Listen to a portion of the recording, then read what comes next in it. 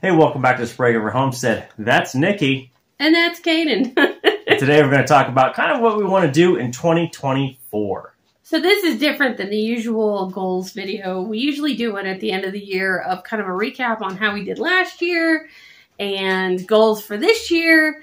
And after basically missing the mark for what, three, four, five years now, Yeah, yeah. we've decided goal lists are out the window.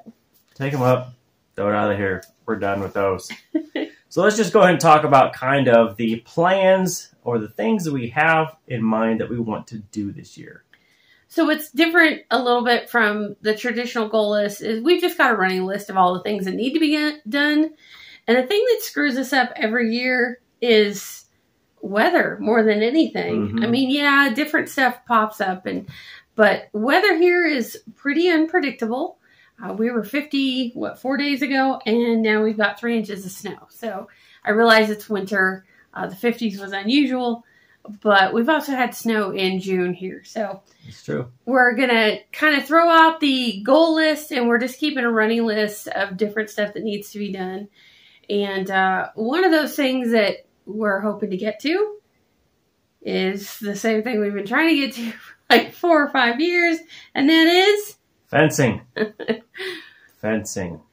So if you remember, gosh, we've we've shown so many different projects. Last year we got a lot of it done thanks to help with uh I won't say our neighbors, but a local cattle rancher and his crew, his fencing crew came in and did a lot for us uh, to try and keep their cows in. Now, outside of that, I've tried to do a big run of barbed wire on the 40 acres adjacent to where we live. I got a lot of well, I got all of the wood posts put in from there. We still need to do the cross pieces and then, of course, run the barbed wire. So that'll take a big, long run. That's a good 1,300 feet or so. about a quarter mile Yeah, about a quarter mile long. So that'll take uh, five strands of barbed wire, which would be a good, good sized project to get all that run together. And then we have some other stuff around. We have another fence line here, kind of close to the house, that will give us another pasture to allow the goats to eat down. And that'll take a couple years where they convert that into sagebrush and kind of just scrub brush and stuff that's not really usable, but they'll turn it into a nice pasture. It'll take a couple of years to do.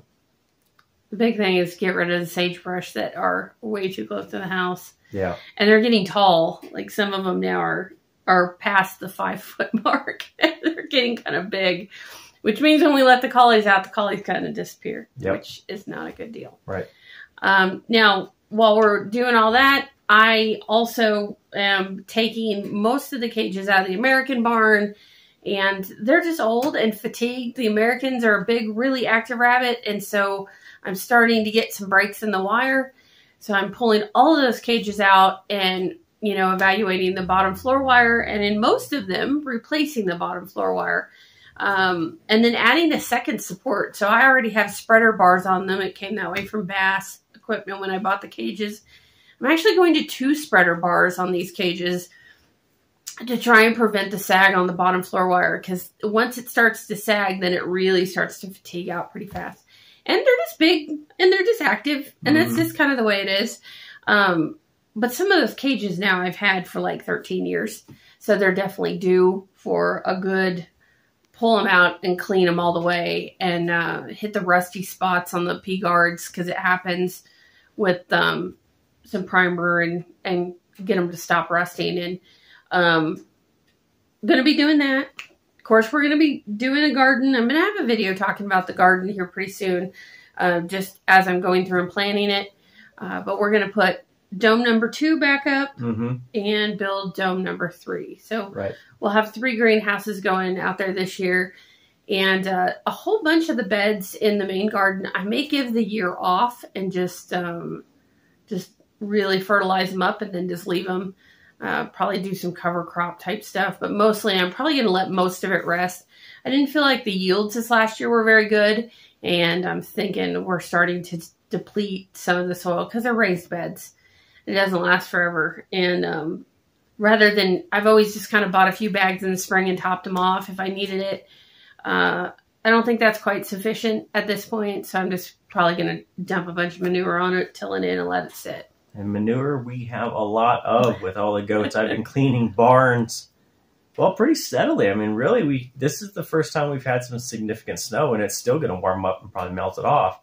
But we've been cleaning, cleaning, cleaning. She's been cleaning rabbit trays. I've been cleaning the uh, goat barns out, and I've started working on one of the, the poultry houses and the turkeys, getting them cleaned out. So we have a significant amount of manure that we can put towards gardening projects this year.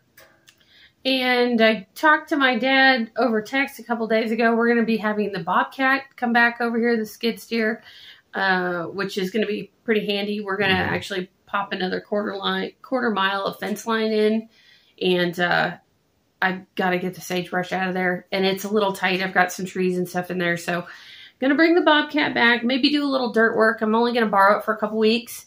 Um, but we might have some videos on that of doing some some dirt projects and yeah. a few things that um, I like to play with the Bobcat. I haven't had it in gosh several years now, mm-hmm. um, but it's it's pretty fun. It's it's you can just do stuff with it that you can't really do with the tractor just because the tractor is so freaking long, and uh, the Bobcat does a better job of getting in and around trees and uh, we even push some of our fence posts in with it. The bucket's got enough strength that uh, makes putting fence posts in a little bit faster.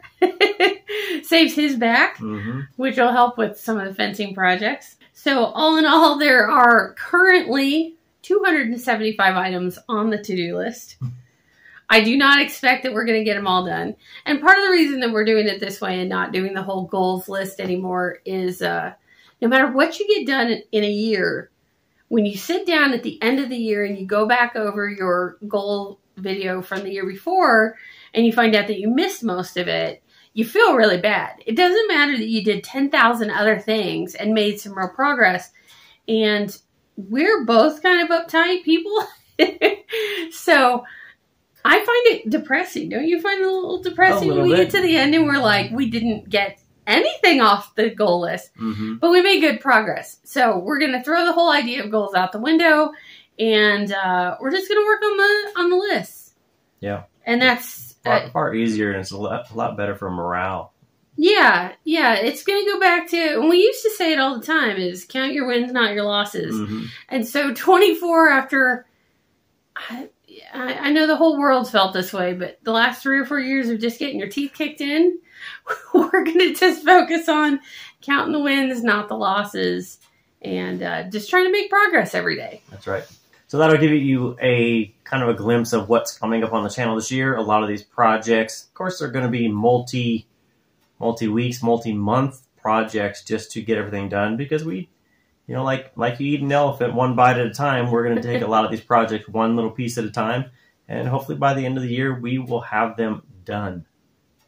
I sure hope so. I don't want to be talking about fencing again next year. Me either. And I, we have an awful lot of fencing to do. So, is it? Are we going to get everything done this year? Probably not. Uh, just because we've we've got a lot of the base stuff done, and now we've we're extending. Yeah. Like this one fence line up here is something that we just talked about in the fall, so it's it's a new project. Yeah. And that's what happens, right? It's new projects getting added to the list all the time. So there we go. So with that, just remember, homesteading is a lifestyle, not a destination. It's not a race to finish first. It's a race to keep on going. so with that, we'll see you next time. Happy homesteading.